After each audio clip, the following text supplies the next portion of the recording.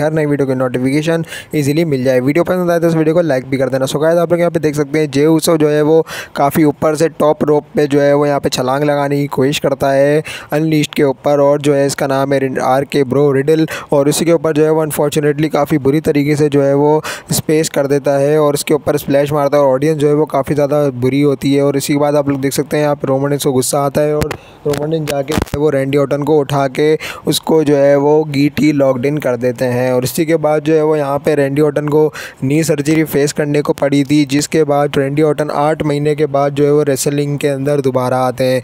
तो जैसा कि आप लोग यहाँ पे देख सकते हैं, काफ़ी ज़्यादा क्राउड जो है वो रोमन को रोक रहा होता है बट रोमन रिंग जब पागल हो जाते हैं तो वो बिल्कुल अनलीज हो जाते हैं अपने अपोनेंट के ऊपर और जो है वो काफ़ी बुरी हालत कर देते हैं। यहाँ पे जो है वो रिडिल तो बच जाते हैं बट यहाँ पे रेंडी ऑटन को नी सर्जरी का बोल दिया जाता है और रेंडी ऑटन फिर जो है दोबारा रिटर्न होता है।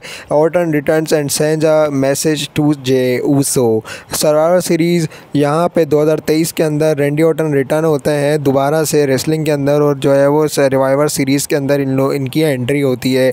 और ये जो है वो मैसेज होता है जे ऊसो के लिए कि रेंडी ऑटन अब दोबारा आ गया और रैंडी ओटन की जो साइट्स हैं, वो रोमन रेंग्स के ऊपर हैं। मीन जो उसका टाइटल है, रोमन रेंग्स का अनडिस्प्यूटेड चैम्पियनशिप उस चीज़ के ऊपर जो है, वो रैंडी ओटन का हाथ होता है और रैंडी ओटन की नज़रें होती हैं उसी चैम्पियन के ऊपर।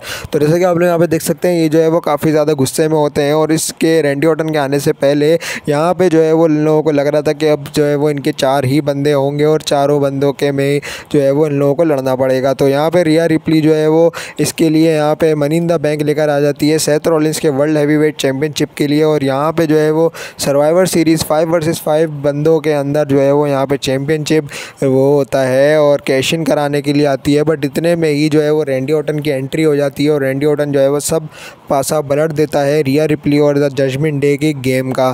तो जैसे कि आप लोग यहाँ पे देख सकते हैं एक एक करके जो है वो पहले डोमिनिक को लुड़काया फिर जो है वो जेडी मैकडाना की माँ बहने कर दी। उसी के बाद आप लोग यहाँ पे देख सकते हैं किस तरीके से जो है वो रैंडी ओटन बजा रहा होता है। एक एक को फिर जो है वो यहाँ पे डोमिनिक मिस्टेरियो को उठा के रिंग से बाहर फेंक देता है। इसी के बाद आप लोग यहाँ पे देख सकते हैं किस तरीके से जो है वो सबकी वार्ड लगाता है रेंडी ओटन और फिर जो है वो यहाँ पे फिन बैलर आते हैं। फिन बैलर को भी रेंडी ओटन काफ़ी बुरी तरीके से डर्डी डीड्स मार देता है रोप के अंदर से। और इसी के बाद आप लोग देख सकते हैं यहाँ पे कि डर्डी डीड्स लगते ही जो है वो फिन बैलर खून के आँसू रो रहा होता है। और इसी के बाद जो है वो यहाँ पे इन लोगों को चांस मिल जाता है कि अब जो है वो यहाँ पे हम लोगों की शायद से जीत हो सकती है। तो इसी के बाद आप लोग यहाँ पे देख सकते हैं किस तरीके से जो है वो रेंडी ओटन यहाँ पे जो है वो जेऊसो की मदद करने के लिए आता है बट अनफॉर्चुनेटली जो है वो रेंडी ओटन यहाँ पे ख़त्म कर देता है इस मैच को। तो बस गाइस आज के लिए तो फ़िलहाल इतना ही। अगर आप लोगों ने इसके बाकी के पार्ट्स नहीं देखे तो ऊपर आई बटन आ रहा होगा, वहाँ पे आप लोग जाके इजीली देख सकते हैं। और इसी के साथ साथ अगर आप लोग मेरे चैनल